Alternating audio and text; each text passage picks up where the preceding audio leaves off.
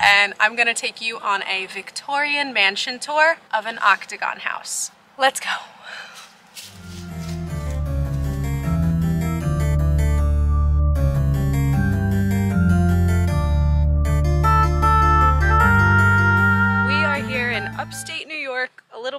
It's actually Irvington, New York, which I consider upstate because I'm from the city, but it's really not that far from the GW Bridge. For those of you who don't know what the GW is a very expensive tolled bridge to get up here in beautiful Westchester County.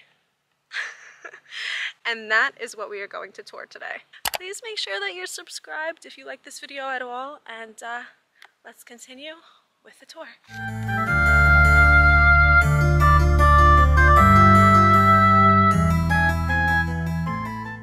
All right, let's begin our tour of the Armour Stiner Octagon House located in Irvington, New York.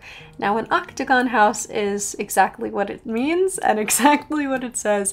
It has eight sides, and this came from forward thinkers in the 1800s. There was a book written called The Octagon House, written by Orson Squire Fowler, a sexologist and amateur architect. He, among many other forward thinkers at the time, believed it to be a more efficient use of space, energy, and cost than the conventional square home. This house comes with a carriage house, a greenhouse, and a bunch of land. This is privately owned. It is a private residence. I did take a tour and paid for it as somebody does live here in the carriage house, whereas the actual Octagon house is occupied by the owner of it part-time because this technically serves as somewhat of a historical museum on certain seasons, but I will link everything down in the description. Now, if you're a fan of wraparound porches, you better get prepared and tucked in for this wraparound porch. Of course, as it is an octagon house, it has eight sides, eight panels, eight giant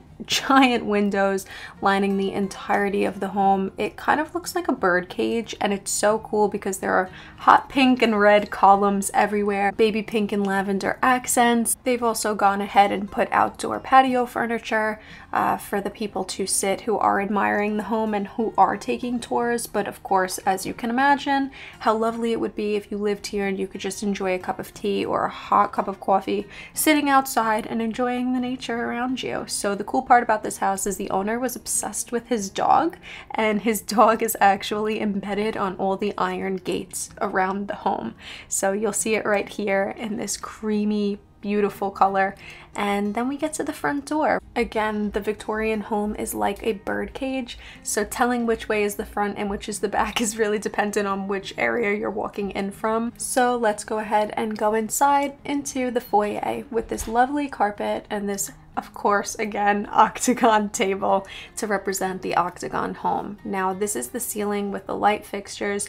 I'm not going to go heavily into detail about the pieces of architecture and this and that, but I will say that on top of the ceiling and on these side panels are aluminum. So now we just think of aluminum as Reynolds wrap, and I'm stealing that joke from the tour guide, but I will say this is the good stuff.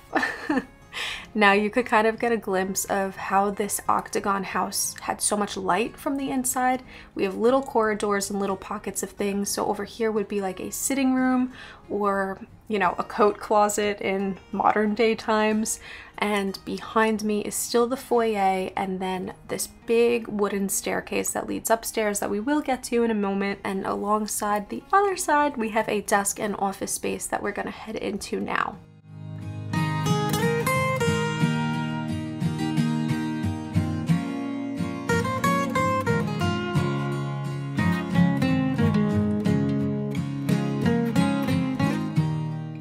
So this space right here is one of the main rooms. It is technically the formal tea room or a sitting room where you would put your Christmas tree, where you would kind of gallivant around with your ladies and drink tea. This room was definitely heavily designed for the ladies, and I'm not just saying that because the top of the ceiling looks like Ariana Grande's perfume bottle, but I am saying this because it is a fact. Behind me was this pocket corridor of the desk and seating area, more like an office space would be today. But that room, of course, leads into this room because there's so many corridors like you will see in here. It gets tricky with how many rooms are just on one floor because there's technically eight and you have to fill up eight spaces in certain ways and each one had a purpose. So this one of course had a lovely Christmas tree and on the Christmas tree had some Victorian ornaments and this home was definitely dedicated to the historic side of things and antiques and preservation and having certain things come from certain places. So I believe the tour guide mentioned that these chairs came from a place in Brooklyn. I could be lying about that, but I am almost positive that that is what I remembered.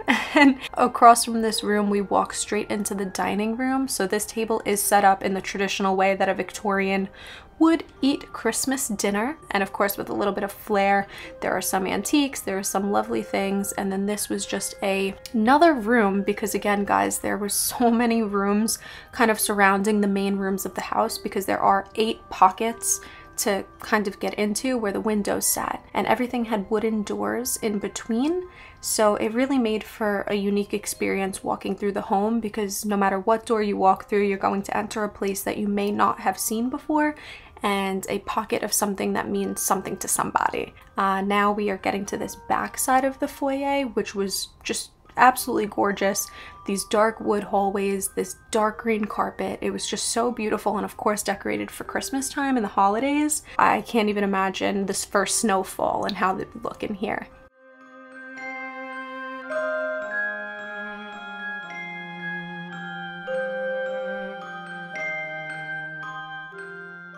Now we can move on to where the kitchen is. Now this kitchen is updated, but they tried to give uh, homage to what the Victorian kitchen would look like and would be. So this is a stove, a burner stove. There's a boiler right here. You could see these countertops are quite new. A sink, that little soap says Octagon for the Octagon house. There's an older telephone, but then under it you see that security system is obviously new. And over here, if you see this little brown box on the wall, you could tell that that is where someone would write letters or mail things to, and it's just a standing desk. And behind here would be what would you call like a butler's pantry. Now we'll head up to the first floor holding the banister in the most Victorian girl fashion aesthetic and you'll see that the carpet continues up here and just the beautiful wood goes all the way up. I'll show you what that looks like in a moment when you just point the camera up and you see all of the stairs and how much more of a house that there is. So this is one main room and that back corner was actually a bathroom. Um, I don't think that I showed that on this camera, but I will show you another bathroom in a moment. You could see that there's a beautiful view. This is where a bedroom, like the master bedroom would be. Beautiful antique furniture. It's all black, the windows are gorgeous. You see this big dresser and then you'll see a vanity right here to the left. And then when we walk out of here, there are a few more rooms. I did not get to go into them, but they were like a child's bedroom, a nursery. The big grandness of the home, as you could tell, is these stairs that go all the way up to the middle because there are about three floors in here. So here's a glimpse at what I didn't get to walk into, but you guys could see through the viewpoint of the camera.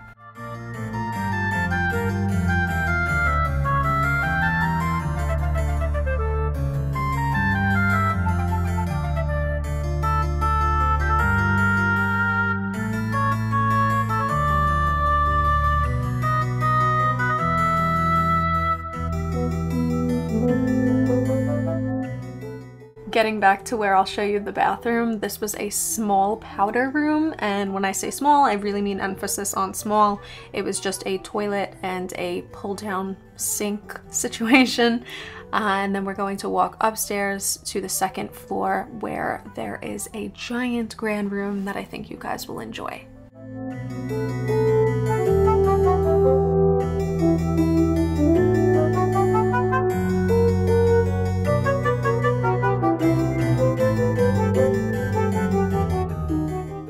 So obviously I kept trying to find pieces of the home that I wanted to show you guys because I was so effortlessly intrigued by. Now up there is this little attic space with a spiral staircase. Unfortunately, we were not allowed up there because it was a fire hazard. Uh, for people to go up there. I guess like museum rules or something like that. But I'll get back to that in a moment. We're to kind of sift around and go around the octagon once again. And we're going to enter the room of curiosities and oddities. And then we can totally show you guys what else is up here. This was my favorite floor by far. It was so cool. It was so unique. It was so Victorian. All of these antiques, all of these oddities, all of these cool, quirky things, the butterflies on the wall, kind of like those taxidermy-esque situations where you just look at things and you're like, oh my god, am I in a sci-fi film? This is awesome. So we kind of walked around again to that big grand room which had a ceiling that looked like this. It was so magical and this room was very based around Egypt.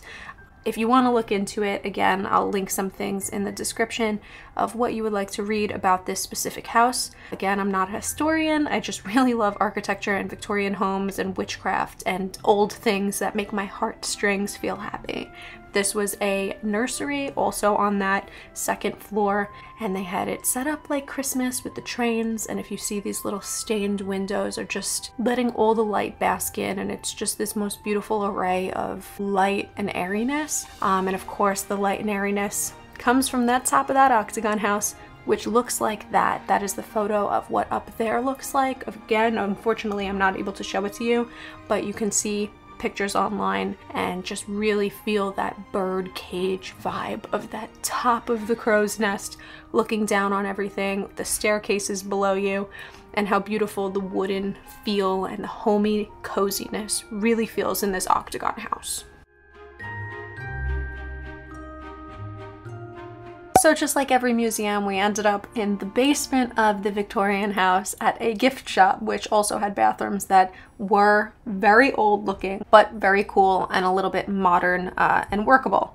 So we hung out on the porch for a little while. Again, this porch was humongous. It was stunning. It was gorgeous. The panels on top, like that roof, just everything. Like I don't even have words to describe how lovely this is. Obviously, you guys can see it for yourself, uh, but in person, it is so euphoric. It's something you've never seen before. Kind of takes your breath away. Like, you know, when you're driving on a really weird and windy road, that small town vibe, and you see this crazy house in the middle of nowhere, and it, you just think to yourself, how can someone build something like that, especially in the 1800s? And it was awesome. So we hung around on the grounds for a little bit until it was time to go head out and hang out with our friends for the rest of the day. And then of course, reminisce about the time we went to an octagon house in the middle of winter. I really hope that you guys enjoyed this video and this tour. I have a few other Victorian mansion tours on my channel. I like to go to a bunch of random places. I, I love this shit. I live for this shit. I breathe for this shit stylistic tendencies of certain rooms and the, the feelings they make you feel and how they kind of make you slow down in a world that's moving pretty fast lately is so... Ah. Like it's just very important to me and I love it. I'm gonna link a few other mansion tours and home tours that I've stayed at up here somewhere in the cards as well as down in the description box but I do post a lot of witchcraft on my channel as well as travel vlogs and escapades and concerts. Please feel free to stick around if you like this video. Subscribe. I hope you guys have a really lovely day and week and I will see you hopefully in my next video. Bye.